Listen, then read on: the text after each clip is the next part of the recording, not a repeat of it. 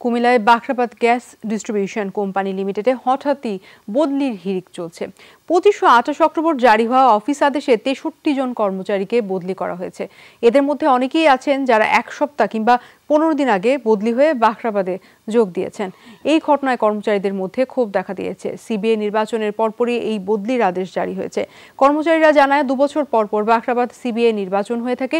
যে প্যানেলে বিজয়ী হয়, দেখা যায় তারা নিজেদের সংগঠনের বাইরের কিছু লোককে বদলি করায়। কিন্তু এত বেশি সংখ্যক কর্মচারী বদলির ঘটনা এই প্রথম বলে জানা গেছে। যদিও বাখরাবাদ ব্যবস্থাপনা পরিচালক জানিয়েছেন, কোম্পানির কাজের গতি বাড়াতে প্রশাসনিক সংস্কার করা হচ্ছে।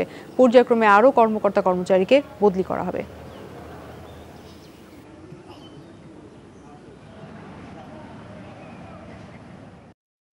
এবারে বদলিটা ওটার প্রতিশোধ না, এটা হলো প্রশাসনিক সংস্কার। দীর্ঘদিন যাতে যেহেতু একজন কর্মচারী বিভিন্ন জায়গায় পোস্টিং নিয়ে আসেন, সুতরাং ওদেরকে পদ লড়ার মানে জায়গাটা চেঞ্জ করার প্রয়োজন ছিল। নাহলে ওনারা বিভিন্ন অপকর্মে লিপ্ত হচ্ছে, এটা আমরা, আমাদের কানে এসছে।